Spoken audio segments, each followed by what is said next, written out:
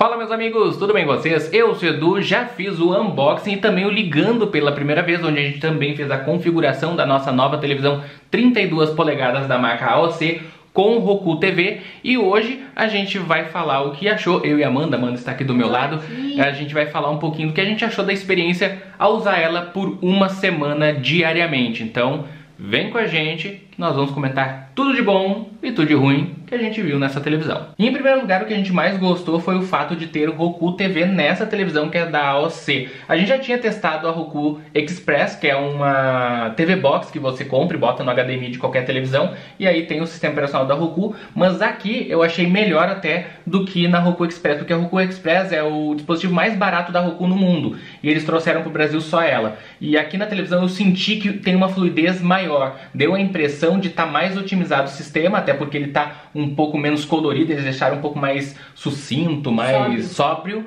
né? Eu acho que para poder pegar todos os públicos, enquanto a Roku Express dá uma impressão de ser para o público mais novo. E eu gostei muito da, daqui porque não tranca, tem todos os aplicativos. Eu gosto muito da Amazon TV, que é a Fire TV que você coloca também o dispositivo via HDMI de qualquer televisão. Porém, até mesmo a Fire TV, que na minha opinião é a melhor de todas, não tem alguns aplicativos como Globo Play e também o HBO Max, que não chegou lá ainda. Aqui a Roku é a única que tem tudo. Globoplay, Netflix, Pluto TV, VIX, Apple TV, HBO Max que acabou de ser lançado, já está aqui, ó, funcionando. Então assim, ela tem todos os aplicativos e não trava. Quando você quer botar mais dispositivos, mais aplicativos de streaming, você vem aqui adicionar canais e aí tem um monte de canais que aparece aqui. E você pode vir aqui, por exemplo, aqui é o destaque. Então tem Pluto TV, tem uh, Apple TV, Active Go, que é sensacional, Globoplay, Disney Plus, Spotify, Telecine, aqui são os destaques. Em novidades, olha só, no mesmo dia que foi lançado já estava lá, HBO Max, testamos, está sensacional. Aqui também aparece como novidade a Apple TV, que a gente está testando e talvez até faça um vídeo sobre isso aqui. Ah, um ponto positivo. Quando a gente comprou essa televisão, no outro dia a gente recebeu um e-mail da Roku TV nos dando 3 meses de Apple TV de graça, sem a gente ter pago nada além de comprar a televisão. Então foi muito legal, estou usando inclusive, vou usar por 3 meses a Apple TV. Aqui nas novidades tem Paramount, Paramount Plus, uh, Stars Play, Spotify, e aí tem os recomendados, Uh, tem, por exemplo, aqui os melhores grátis, então tem tudo que é grátis, tem YouTube, tem tudo. Então, assim, um ponto muito, muito, muito positivo dessa televisão é o fato dela ter esse sistema da Roku e ele ser muito fluido. Outro ponto que eu gostei bastante dessa televisão é o fato de você poder vir aqui na pesquisa e botar qualquer série. Por exemplo, eu quero assistir Vovozona. Você escreve Vovozona aqui e ele vai aparecer aqui do lado né, todas as vovozonas. Então, por exemplo, aqui, ó.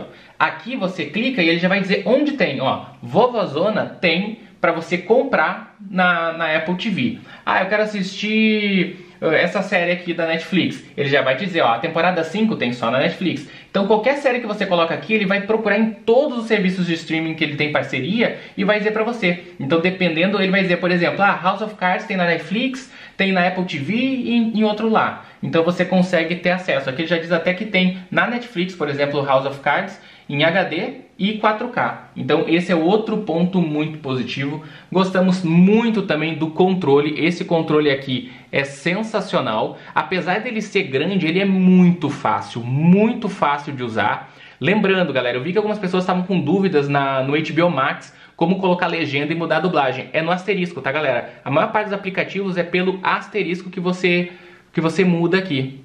Então você consegue mudar legenda, as configurações de TV, tudo por aqui. Então esse controle é espetacular, inclusive ele já vem com alguns botões dedicados para Netflix, Globoplay, Google Play e também HBO Go, que no momento, como o, HBO Go foi extinto e no lugar ficou o HBO Max, ele está sem função, mas eu acredito que vai ter uma atualização que vai transformar esse botão no botão da, da HBO Max, no caso. Então fiquem atentos que isso aqui provavelmente vai acontecer, mas é um controle muito bom, muito fácil de usar, muito show mesmo. Então é outro ponto bem positivo dessa televisão. Eu sou muito fã da Roku.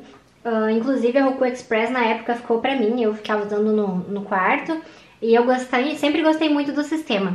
Esse sistema da Roku TV na AOC realmente ele é mais sóbrio, ele não é tão festivo quanto o sistema da Roku Express, o que é legal, tudo depende do público. Mas um ponto positivo da Roku em qualquer lugar que você for acessar ela é o fato dela ser muito fácil de mexer. É muito fácil de entender como funcionam os aplicativos que eles chamam de canais, o que, que você faz para acessar, tudo é muito fácil de mexer, tudo é muito, muito tranquilo, assim. Então, é uma coisa muito é um ponto muito positivo. Inclusive, hoje a Roku Express está com os meus pais e eles acharam muito fácil de usar ela tiveram uma grande facilidade, o que já mostra que é realmente um, um sistema que ele é aberto para todo mundo, qualquer pessoa vai entender.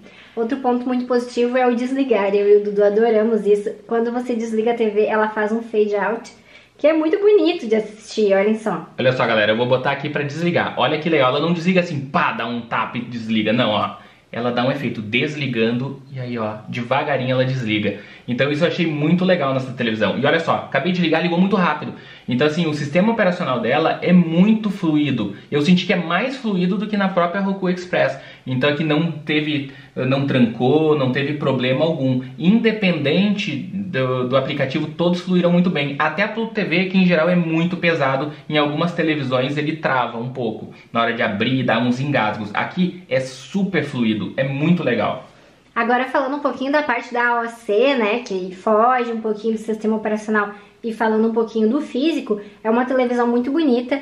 Os pés dela têm um design muito legal. Ela não é uma televisão grossa, é. o que torna ela bem prática. Você consegue colocar em qualquer lugar. O tamanho é muito bom, 32 polegadas para um quarto, para um ambiente menor funciona super bem. O único ponto negativo, e que a gente até pesquisou e viu que é bastante comum nesse tamanho de televisões, é que é tela HD. Ela não é Full HD. Então aqui onde a gente está, se você for muito detalhista, dá pra ver que a imagem não tá em Full HD. Mas isso acontece porque não vale a pena, né? Pelo que a gente pesquisou, as marcas, todas elas praticamente, quando a televisão é 32 polegadas, eles fazem ela na resolução HD, porque pelo que eles explicam, não faria muito sentido uma tela pequena, né, que não é muito grande, uh, de, como 32 polegadas ser Full HD. Então, mas para nós isso é um ponto negativo. Se você olha a televisão muito próxima, você percebe que não é Full HD, mas não é aquela coisa que incomoda, né? Mas se você está vendo no sofá, se você está vendo no seu quarto deitado, você não vai perceber diferença nenhuma, né?